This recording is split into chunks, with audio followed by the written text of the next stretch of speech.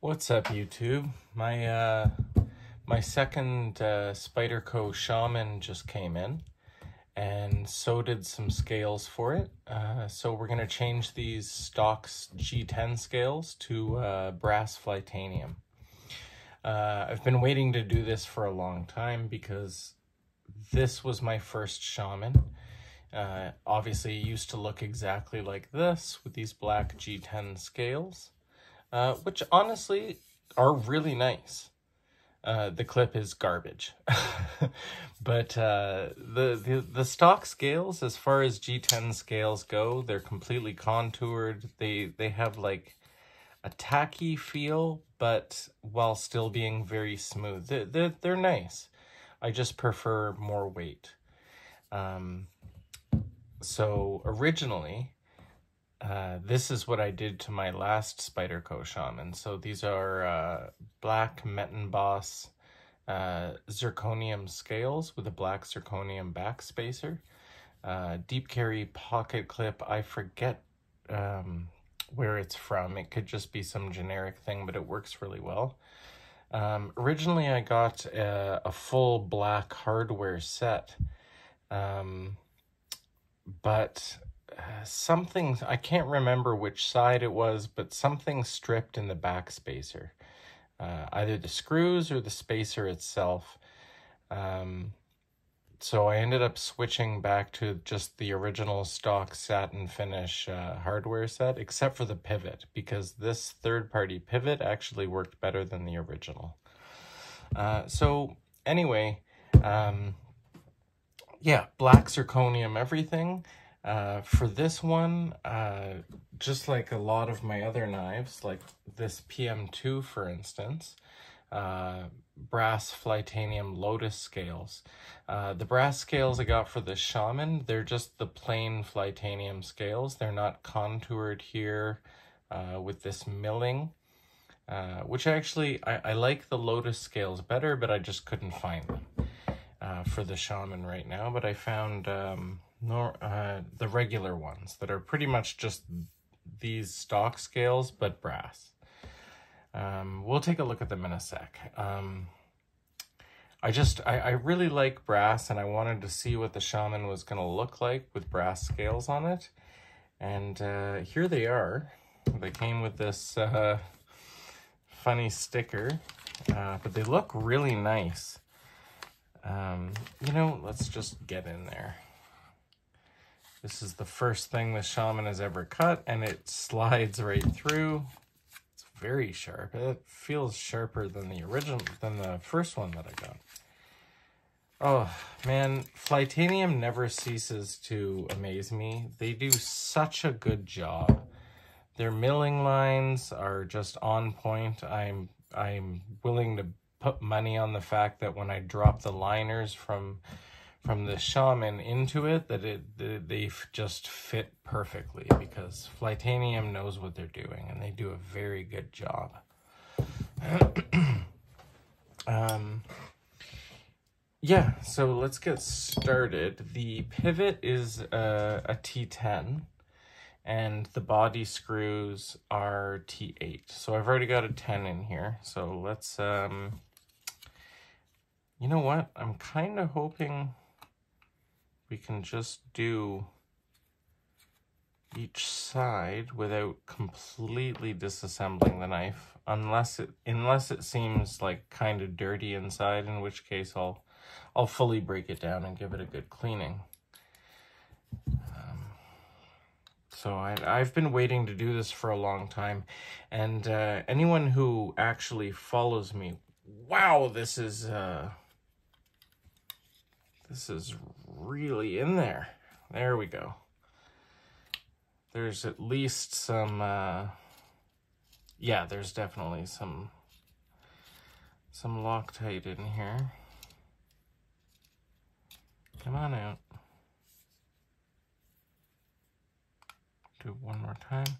There, uh, when I was looking for any add-ons that I could put on this, I found, uh, what was the site? Uh, 5 by 5 customs or something like that.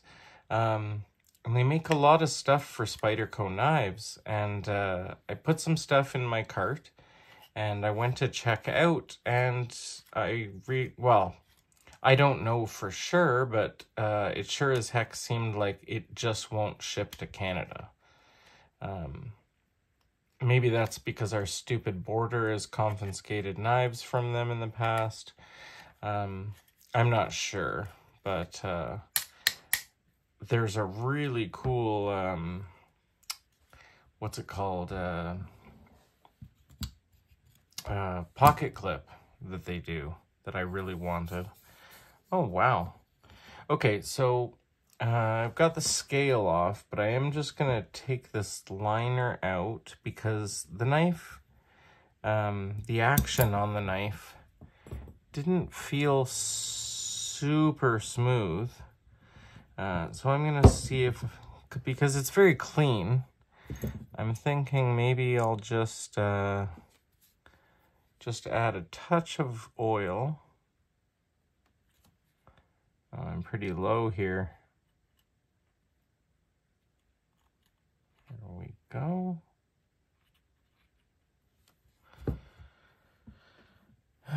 Just a touch on the inside here.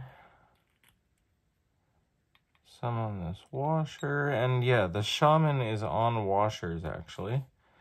Uh, not bearings. If the Shaman was on bearings, it would be unbelievable. But I can see why they uh, they chose washers for this particular knife because it is it, it is built super thick, super tight.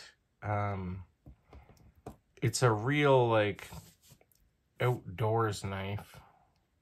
I'm not going to be able to pick this washer up, am I? so I can see why they did choose that.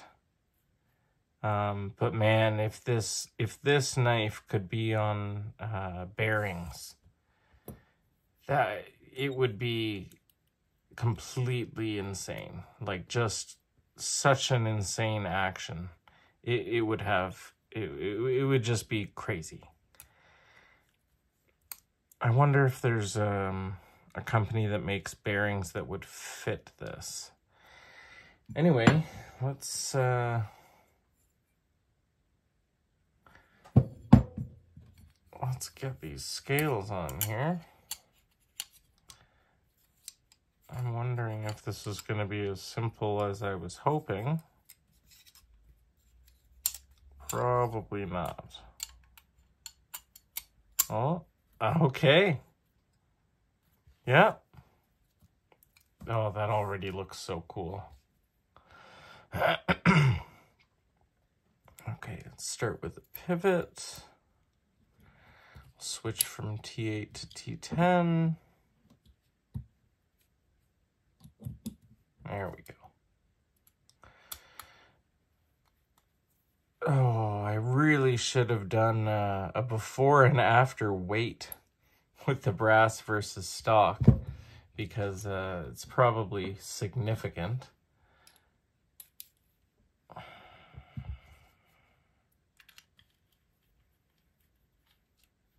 Okay.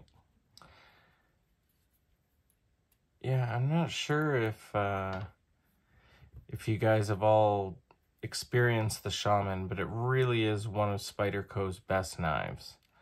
I, I would say. I think it's the blade shape that does it for me the most because so many of their other blade shapes are... Um, well, they all have these weird curves and stuff, and you have to really like them to uh, find like Spyderco is well known to just generally be like an ugly knife, but it has it has such charm to it that uh, people are just drawn to it. Uh, I remember the first time I held a Spyderco. Um, I don't remember. It was some kind of flipper Spyderco, like the amalgam, I think it's called, or something like that.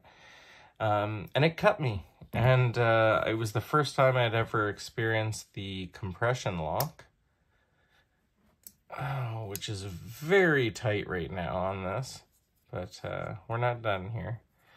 Uh, so one side is complete, the other side is still uh, the G10. So we're gonna replace that as well, and then we're finished. Wow, Spyderco. I this is definitely the most Loctite I have ever experienced Spyderco putting in a knife. Most of their knives uh, come apart quite simply. Uh, there's a lot of Loctite on these screws. Yep, all of them. Oh, wow. Oh. That was either the beginnings of stripping a screw or this bit.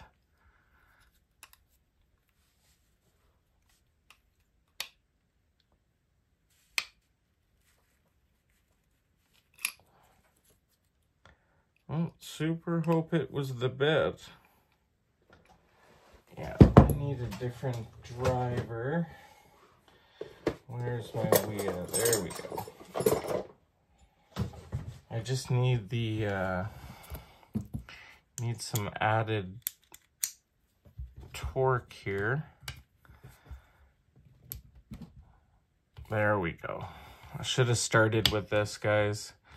Whenever you're dealing with Loctite, you're best off to be using a, a stubby driver like this. It just gives you that added torque to just really get get it turning when there's this much Loctite. There we go. Okay, back to the pivot.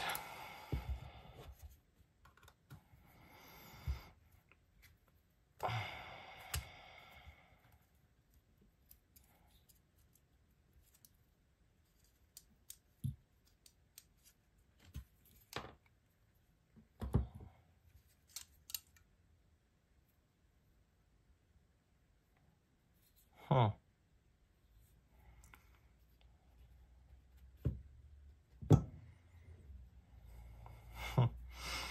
So I guess this is going to be the speed bump here. This side is not quite as easy as the other side. The other side just slid right off. I mean, you were there. You saw it. but uh, not this side, guys. This side is uh, a little bit more frustrating but we'll get her out. Huh. Well, I'm going to do something that I would probably always tell you guys not to do. And that's use a knife as a prying tool. There we go.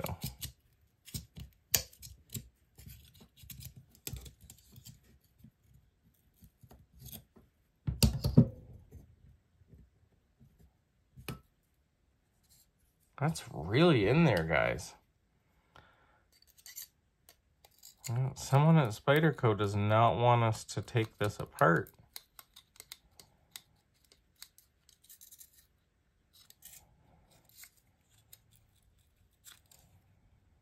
Hmm. Oh, I am stupid, guys. You actually have to take the uh, the pocket clip off to get this side off. I probably just maybe slightly bent that uh, that liner there trying to pry this out. Six, so that's going to be a T6. Huh. Yeah, I should have realized that. I should have just taken the whole knife apart to tell you the truth. Um, but uh, I'm always looking to cut some kind of corner, I guess. Okay, these don't quite have the same level of Loctite in them as the body body screws did, which is nice. There we go. Yeah, that was the problem.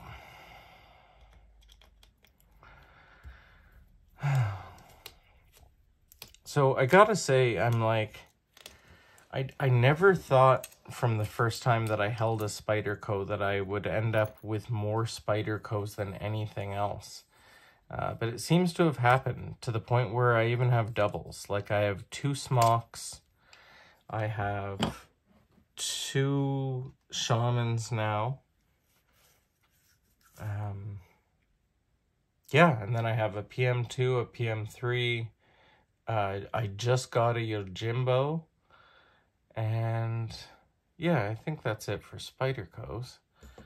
Uh, let's see here. Yeah, there we go.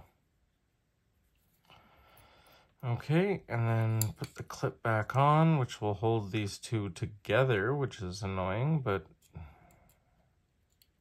it is true. There we go. Man, uh, like Flytanium, it's just it's just as easy to put on their aftermarket scales as it is to put on the factory scales. Like listen, the the those black zirconium Metonboss scales that I have, those are amazing, and those did go on really well. And I have a set of black zirconium Metonboss scales on one of my Spyderco smocks, and the same thing. But the machining with Flytanium is just a little bit better, which makes it totally ridiculous because being better than the Metonboss scales, machine-wise, is uh, a feat on its own. Okay, so the, put the washer back.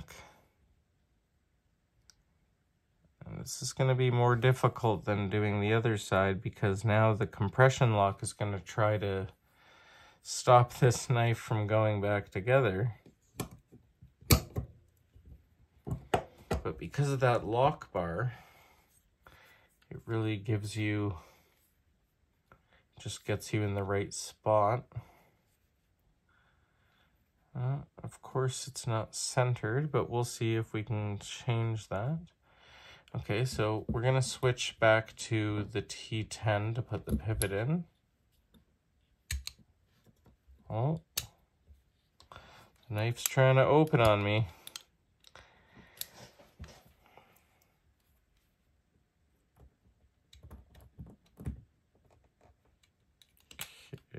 pivot in.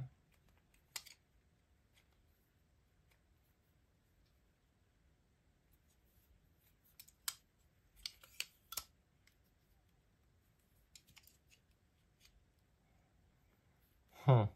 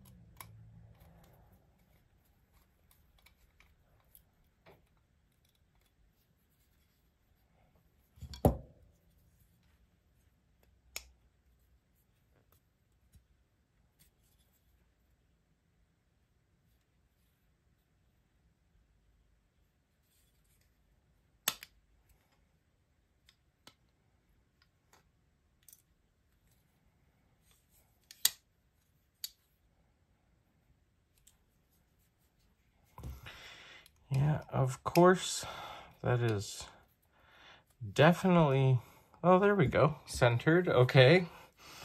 That's uh, not what I was expecting.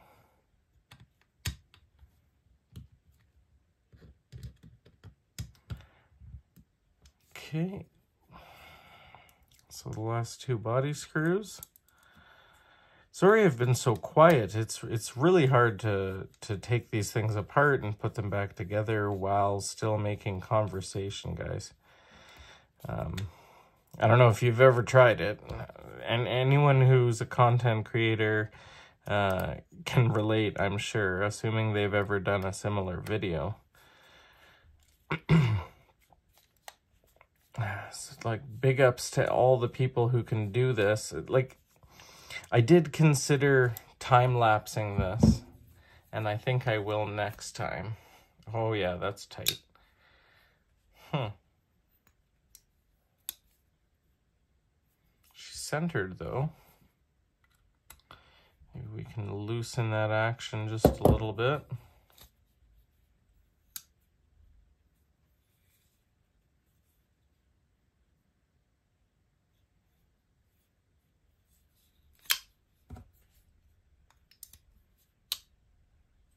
Oh, that's uh that's pretty good.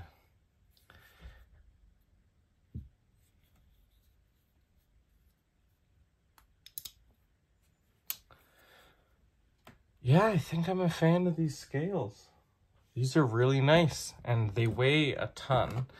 So I don't know, I don't remember what uh, a stock shaman weighs. I think it's almost six ounces maybe. With brass flytanium scales, oh, not grams, ounces. With brass flytanium, it, it is 9.19 ounces. That is a really heavy knife. I think that's more than these black zirconium scale. It is. I can tell just by holding it. 8.43 and 9.18. This has got to be my heaviest knife now. Yeah, the brass PM2 comes in at uh, 6.37.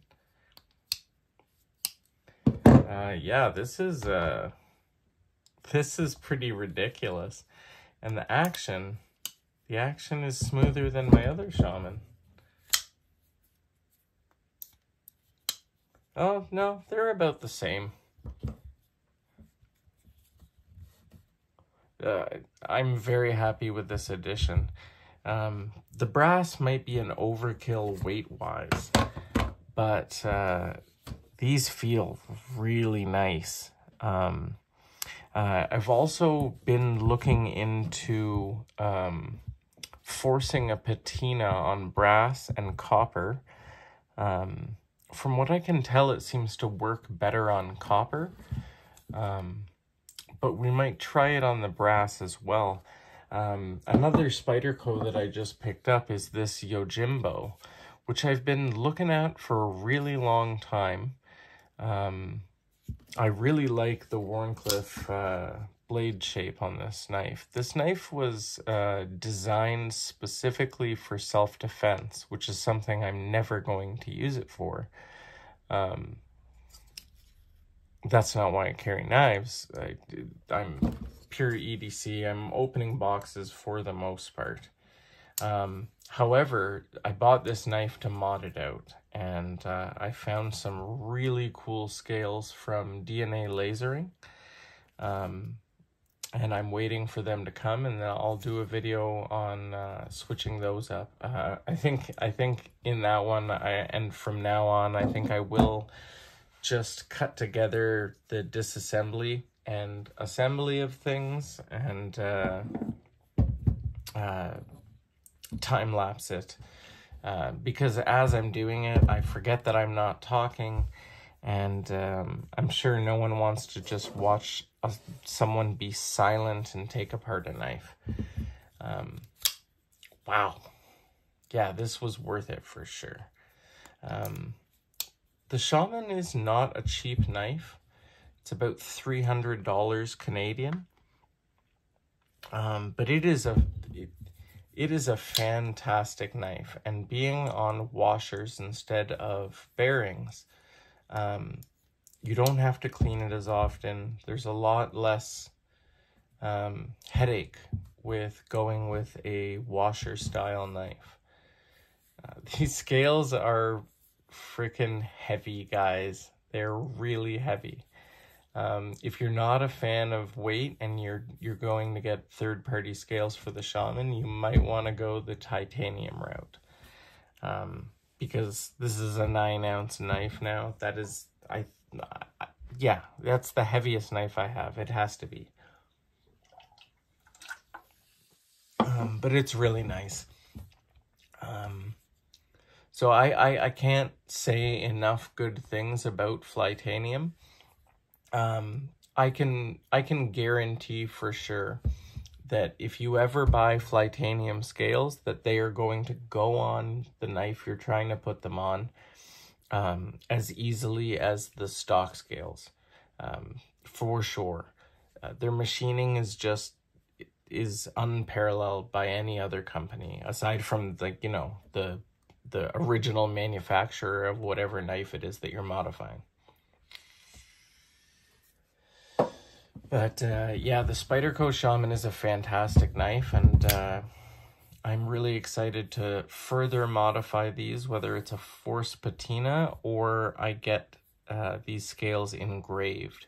I'm obviously also going to switch up this god-awful uh, stock clip. Um, yeah, this is, I'm definitely going to be carrying this for the next few days. I can't believe that that perfectly recentered um, this time I didn't have to do anything special to recenter that blade. Once it was all put together, it just centered right up. And uh, yeah, this is smoother than my original now. Um, so I couldn't be more happy with this mod.